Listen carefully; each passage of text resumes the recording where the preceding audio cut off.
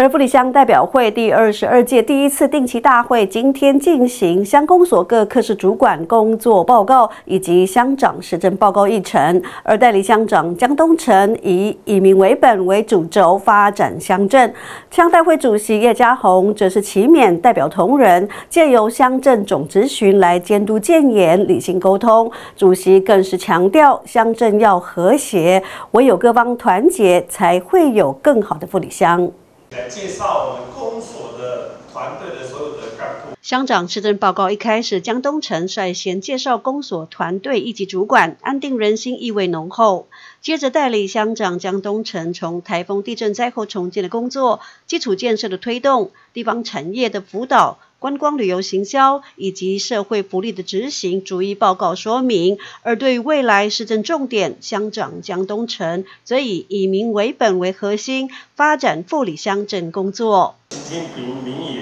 以多方的意见哈为这个最最主要的基础啊，在在借于我们各科室啊各个人的相关专业的一一个执行能力啊，使能够完成一一意。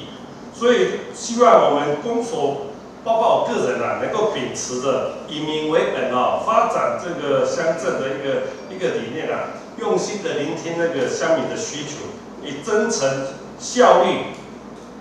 专业的态度啊，来执行这个职务，积极达成我们乡镇发展的一个目标。富里乡因人口减少，乡代会席次也从原本的十一席缩减到现在的七席。乡代会主席叶家宏启勉代表同仁，借由乡镇咨询为民喉舌，监督乡镇，也期许乡公所团队以周全完善的评估民意为依归，来推动地方建设。各位代表可以针对平日接受的民众陈情与心声，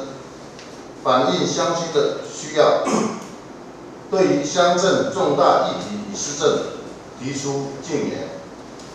反映乡亲的需要；对于乡镇重大议题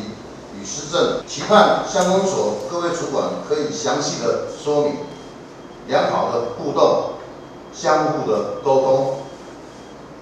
乡公所团队在推行各种业务时，应该要有周全的评估与准备。让每一件施政能得到乡民们的认同，期盼在座的乡公所主管们可以发挥你们的专业，用心去思考，认真去执行，一切都是为了更好的护理。